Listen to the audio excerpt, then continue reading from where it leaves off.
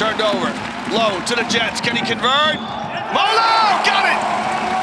Well, Molo goes to the Jets. That midcourt in transition. And the scoop and score is good. Smith. Shot rims out.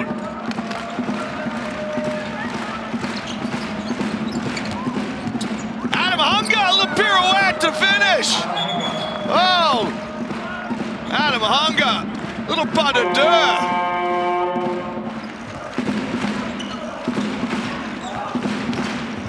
Just lost his footing, Heurtel into the hands of Adam Hanga, who penetrates. Little bounce pass to Poirier.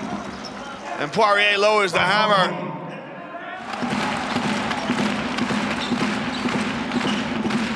Drag screen for Eriksson, who lets fly. Got it!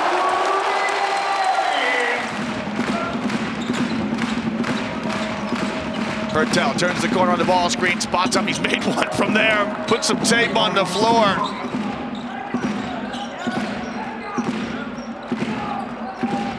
Lo! Devastating crossover! And the triple from Molo!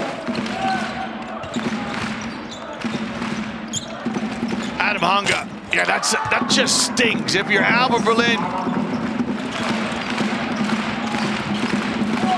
Sikma the trail, a little pass through the legs. And the runner, will it go? It does. Well, Luke Sikma with his patented pass through the legs.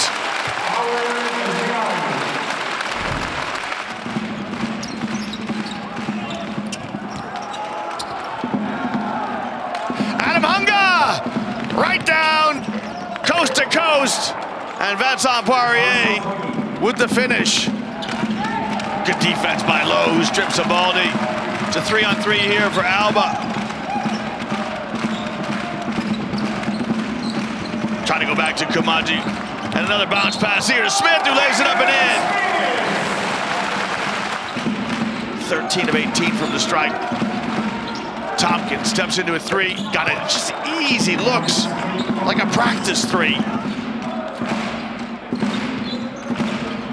Randolph dispossessed. Look at the hustle from Smith. Look at the hustle from Smith. It's numbers here. And a flush from Lammers. That's going to count. The horn you heard was a 24-second shot clock on the other end of the floor.